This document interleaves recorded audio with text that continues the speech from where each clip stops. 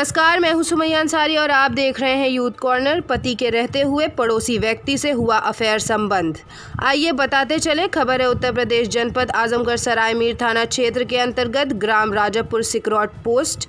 राजापुर सिकरौर का रहने वाला गणेश बिंद, पिता स्वर्गीय झिंकू बिंद का कहना है कि हमारी शादी 2012 में रसूलपुर दुबरा बाज़ार मोटीनगंज के सुमन बिंद, पिता फूलचंद बिंद के साथ धूमधाम से शादी हुई थी। पूरे रीति रिवाज के साथ शादी हुआ था। गणेश बिंद का कहना है कि दो साल बाद हमारे पड़ोसी में गालिब पिता अकरम ग्राम राजापुर, सिकरौर पोस्ट राजापुर, सिकरौर थाना सरायमीर के साथ नाजायज़ संबंध रखने लगी। मैं गणेश बिंद, अपनी पत्नी सुमन बिंद को कई बार समझाया बुझाया कि ये गलत काम है, फिर भी उसके समझ नहीं आया।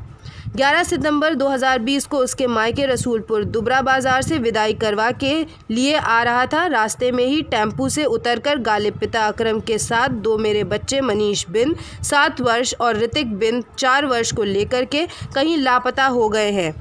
मैं उस समय टू व्हीलर से था। मैं टू व्हीलर में तेल भरवाने के लिए दुबरा बाज़ार से मोटीनगंज के बीच में टंकी पर टू व्हीलर में तेल भरवा रहा था। उसी बीच में टेंपो आगे बढ़ा। उसी बीच की ये घटना है। जब मीडिया द्वारा सुमन बिंद के पिता फूलचंद बिंद से बात हुआ तो सुनिए ये क्या कहे। यूथ कार्नर न्यूज़ से बोल रहा हूँ नीरज कुमार प्रजापति। हाँ हाँ। ये बताइए क्या मामला है वहाँ पर? ई मामला हमार लोग खोज नावत है चारी ओर। जी। किसको खोज रहे हैं? लड़किया के वो लड़कवा के। क्या नाम था लड़की का? साहू सु- सुमन। और लड़का का क्या नाम है? नतियन का कहा। नतियन का अच्छा हाँ नाती का एक जने का वो है मल्लू नाव है हाँ। ऋषिक नाव है। अच्छा। बड़के? बहनी? दो दो हाँ, बच्चे हैं। आपका नाम क्या है सर? आपका नाम क्या है? फूलचंद बिंद। अच्छा आपकी लड़की है सुमन? हाँ। तो आपको जानकारी है किसके साथ गई है या कौन लेके गया है? वो है घर के बगलिया में। क्या नाम है उस लड़के का? गाली। और कहाँ का रहने वाला वो लड़का है? सरामीर के। घर अच्छा। बतिया। अच्छा उसी घर के करीब का वो लड़का है? आ बगलिया में है। क्या वो लड़का आपके यहाँ जाता भी था? हाँ हाँ एक दिन का दो दिन दो दिन गया था तो क्या रात भी था वो? ना ही दिन। दिन अच्छा दिन दिन था फिर उसके बाद चला गया। हाँ। Okay sir thank you. फिर आनन फानन में मैं इधर उधर बहुत तलाश किया, फिर भी इन लोगों का पता नहीं चला। अपने घर भी पता किया, वहाँ भी नहीं। सुमन के मायके पता किया, वहाँ भी नहीं। पूरी रिश्तेदारी पता किया, वहाँ भी नहीं।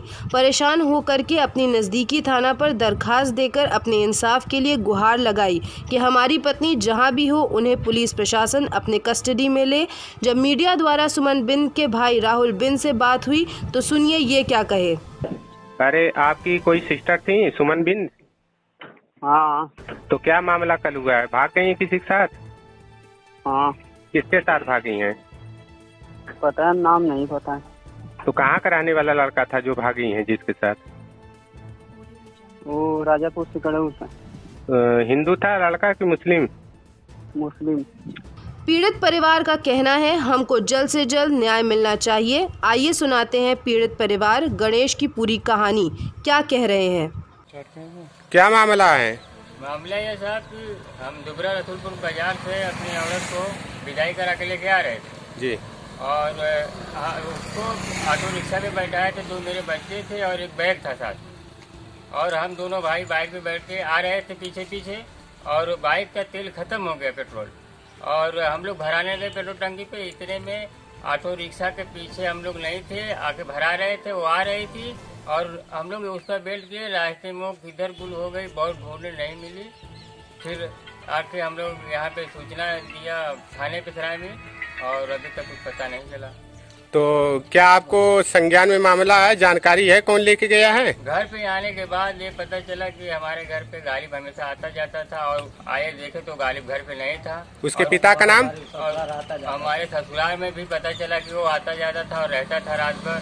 वो पे जाके घड़ी और मोबाइल और सामान वामान देता था और हम लोग को पता नहीं था। अब यहाँ से खोजते जब ढूंढना चालू किया तो वहाँ पे ये सब पता चला।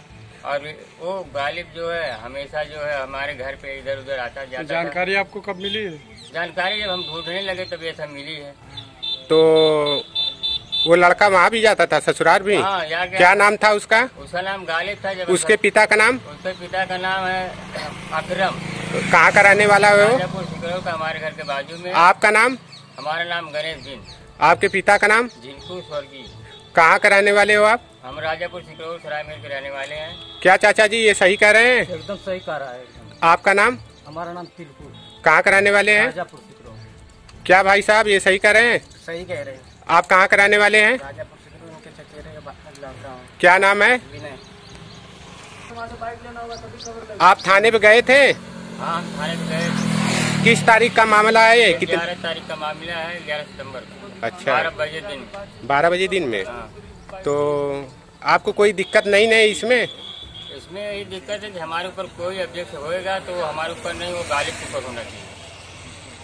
तो जो भी दिक्कतें आएँगी गालिब इसके जिम्मेदार हाँ इसके जिम्मेदार गालिब होंगे क्योंकि गालिब उसी समय से नहीं है और आज तक भी गालिब घर पे नहीं अच्छा। और खून भी उसका बंद हाँ।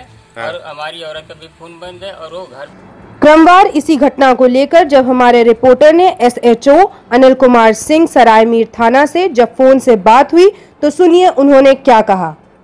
नमस्कार सर। हम आजमगढ़ से रिपोर्टर करमचंद गौतम बोल रहे हैं। सर ये राजापुर सिकरौर का एक संज्ञान मामला हमारे यहाँ आया है। बिंद पिता स्वर्गीय झिनकू बिंद का। उनका कहना है कि उनकी पत्नी 11 तारीख को दोपहर के करीब गायब हो गई है। तो उसकी खबर सर आप तक है? जी? तो उसके बारे में सर आपका क्या कहना है? घटना स्थल मार्टिनगंज मार्टिनगंज बस स्टैंड। जी रसूलपुर दुबरा बाज़ार मार्टिनगंज का है। सीधा लिखे हैं मार्टिनगंज बस स्टैंड जी। पेट्रोल पंप बस स्टैंड जी। वहाँ से हाँ सर वहाँ से वो लापता हुई हैं। और परिवार वालों का कहना है कि किसी अकरम पिता का नाम है। और लड़के का नाम बता रहे हैं उनके साथ। गायब होने की कुछ खबर हम लोगों को रिपोर्ट दिए हैं। आपको आपको बताए हैं ना हम? जी ग, बताए हैं।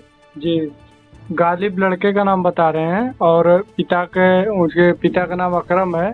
तो लड़की के पिता से बात हुई है हमारी। हम्म, तो उनका कहना है कि गालिब जो है उनके घर पे भी आता था। वहाँ भी जाता था।